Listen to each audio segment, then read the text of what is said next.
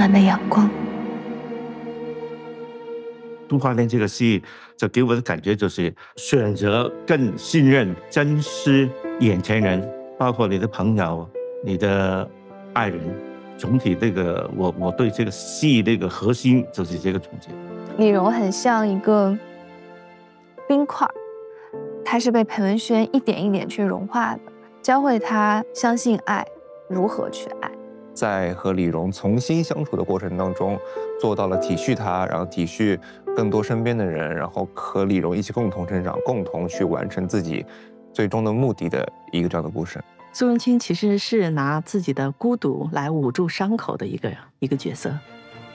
我觉得上天对他很不公平的，就是让他在两样最珍贵的东西里面选，一个是他从十岁起便坚守至今的爱情。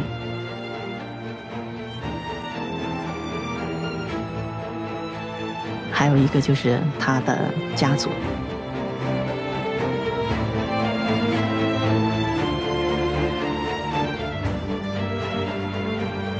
如果李荣过得好，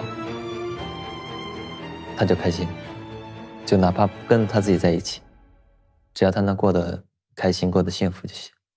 他其实世人笑我癫狂，我笑世人看不懂。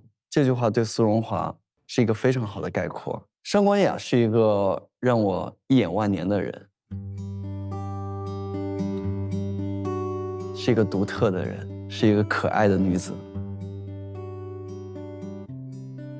我觉得那一瞬间产生的那种情感粘连，它就是爱情，它没有什么啊，你是邹荣华，我是上官雅，没有，就是因为他们看一眼就对上了，就这么简单。本身底色是一个。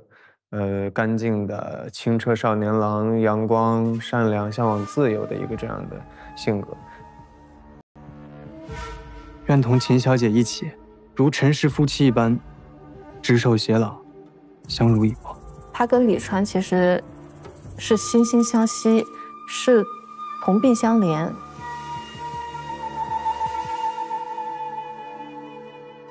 空有着人间自由身，却非。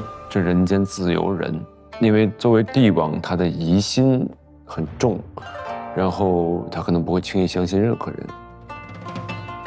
他为皇上流过泪，然后为女儿流过泪，为儿子流过泪，没有一个人为上官月动过这样的感情。作为深宫中的这个。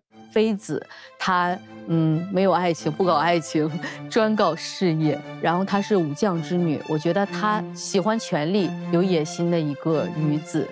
呃，我觉得华月最吸引我的地方是她其实并不坏，有的时候还笨得让我有一些心疼。父皇，儿臣不明究竟哪儿做错了。站在自己的个人思想上。也不能说完全是个坏人吧，因为我觉得，他首先要让自己强大，他才能去保护很多人，包括他的女儿。取你我代之之心，昭然若揭，总得杀进静侯，给他们点颜色瞧瞧。苏家在这个戏里面是一个传统的世家，也有很高的位置，但是呢，最后的结局是非常的惨的，将会是你们。其实这个剧本我读完了以后，我还是非常喜欢这个角色，因为他在感情上他其实很忠贞，在那个背景下他不能选择。就氏族强大不代表你强大，所以我就完全被裹挟在这个势力当中，就像鸟笼中鸟一样，没有什么空间。我们在古装剧的外壳下，其实有很现代的情感内核。我们特别希望观众在沉浸于故事之后，获得共鸣。也能够得到治愈，获得一份情感的感动以及踏实。